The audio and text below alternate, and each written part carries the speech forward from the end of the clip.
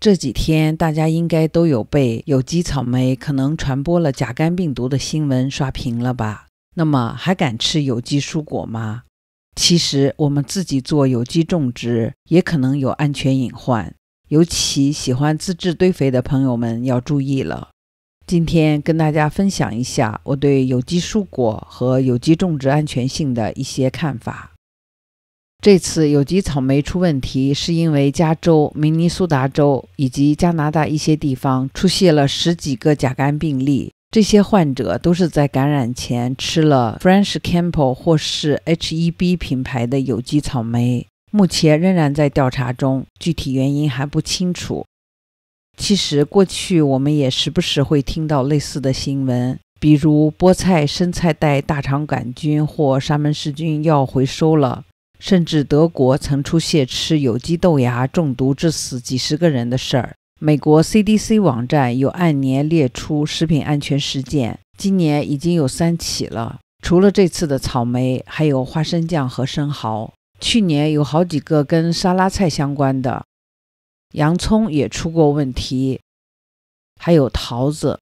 它还有按病菌分类的列表，大家有兴趣可以仔细查看。其中有一些确实是有机产品，所以有机蔬果实际上不像我们以为的那样百分百无毒安全。被污染的原因主要是所用肥料。大家都知道，有机种植用的都应该是有机肥，而有机肥中很重要的一部分是粪肥。如果没有经过充分发酵以及无害化处理，那么粪便中的致病细菌以及病毒就有可能进入到蔬果中，人吃了小则不舒服，大则中毒染病。另外，使用被污染的水源也可能是原因之一。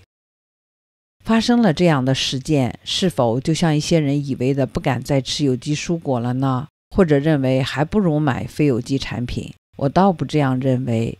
第一，非有机的产品也会发生类似的问题，而大量使用杀虫剂更带来潜在危险。别忘了每年的 Dirty Dozen 最脏蔬果排行榜。第二，这毕竟是小概率事件。其实，美国等一些发达国家对有机肥制作过程的温度及发酵时间等等都有较为严格的规定，对此类事件的监测也还算是警觉的。你看，FDA 这里说，只要有两人以上。因同一种受污染的产品得了相同疾病时，就会启动调查，还是相对让人放心的。第三，只要做好清洗，是能够从很大程度上避免染病的。好多人以为有机就是免洗，其实不是的。如果是真正免洗，它会标示的非常清楚，所以平时还是当心一点比较好。每当这类新闻出现，总是更坚定了我自己种蔬果的信心。但商业种植的安全隐患在我们的庭院中也可能存在，主要有两个方面：粪肥使用和自制堆肥。首先要从靠谱的渠道购买粪肥，它们经过较为规范化的处理，安全性会大大提高。其次，在使用的时候，尽量不要在果实或会食用的叶片上有残留，特别是液体肥。另一方面，自制堆肥要当心。真心不建议用人或大部分动物的排泄物。我知道有很多人养鸡，鸡粪是很好的，但也最好根据指导，完全沤熟了再用。也许有朋友会说，那我就用化肥得了。嗯，作为有机种植的践行者，今天我就不展开讨论了。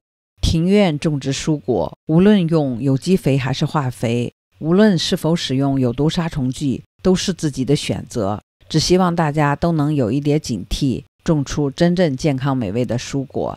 感谢你的支持，我们下期再见。